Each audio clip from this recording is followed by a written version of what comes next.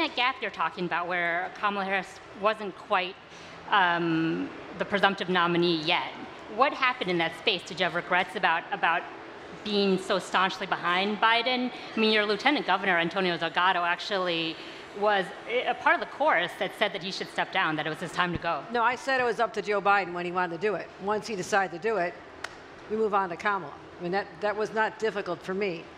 So what I also saw was there's an opportunity for New York Democrats to step up in the breach there.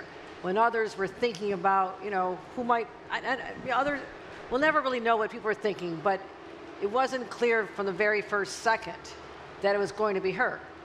So I pulled together, I did a Zoom call with all the New York State delegates. I said, this is who we want, we support her, and within a day, we were able to deliver the New York State delegation in support of her. As others were starting to line up, everybody started following suit, and, and certainly President Biden's support for her was instrumental. So it was kind of a wave of activity over a very intense, compacted time frame, and here we are.